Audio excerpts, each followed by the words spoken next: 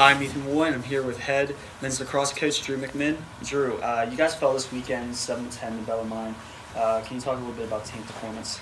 Yeah, I mean, overall, we weren't extremely satisfied, obviously, not only with the result, but, you know, just with the way that the game went. You know, I mean, leading up to the game, we felt pretty prepared in, in all aspects. And, you know, with the, with the result that we ended up having and with just the performance on the field overall, I mean, we just didn't feel like it was really in character with who we were leading up to that day. But, Uh, we always talk about never letting one day define us. So, you know, now we've already kind of moved forward to the next step and making sure that we're prepared, you know, this week and then beyond. Yeah.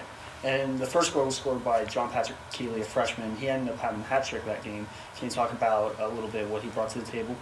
Yeah, absolutely. I mean, you know, we always talk about wanting our guys to, you know, be willing to try to make plays, and if mistakes come along with that, then that's something that you know we'll obviously learn from. And you know, JP, although you know having some things that didn't go his way throughout the game, I mean, to get three, you know, three different goals in the back of the net, I mean, was huge to start out his career that way. So we are pleased with that, but you know, obviously looking to clean up some other things, not only within his game but the rest of the team. So. Okay.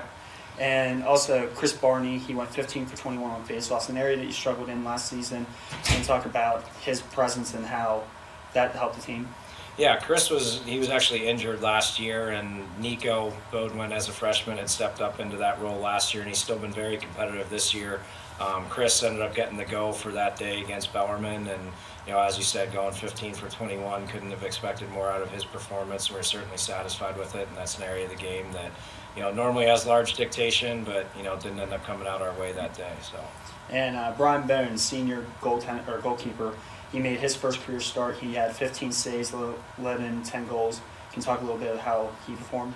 Yeah, absolutely. I mean, obviously, another very important area. Normally, if you win faceoffs and your goaltending's, you know, above 60% save percentage, you expect to have a good day. But, you know, outside of those two things, there's obviously some other things that we needed to clean up. But, you know, to have Chris at the faceoff X and have Brian perform the way that he did in the cage, you know, I mean, we were certainly pleased. And not only with those two guys, but we have guys that are behind each of them. I mentioned Nico with Chris, and, you know, we have two freshmen competing at the faceoff X as well. And with Brian, I mean, we have you know, four very capable goalies, and Brian happened to be the guy that we gave the go-to to start the season, and you know, very impressed with the way that he played that day. Mm-hmm.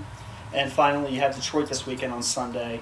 You played them last year. Uh, can you talk about a little bit what you expect from them? Maybe like what you had from last year, and maybe what happened last year, and take that into what happens this weekend. Yeah, their their offensive personnel is very similar to last year, so we don't expect to see too much different on that front. They did lose some defensive personnel in their goaltender from last year, but you know, as most teams at this level, I mean, they're able to kind of reload with the you know the personnel that was ready to step up for those guys. So um, there will be same thing, you know, some things on that side of the ball that may be a little bit different, but you know, kind of as we talked about going into the first game of the year, there's only so much you're going to know about teams early on in the season. So you know, especially with the things that we know we have to correct from last week, we're mainly focused on taking care of that stuff moving into this weekend. Okay. Thank you, and good luck this weekend. Thanks.